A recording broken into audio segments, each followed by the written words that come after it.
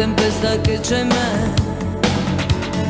mi fa andare avanti incidente d'anima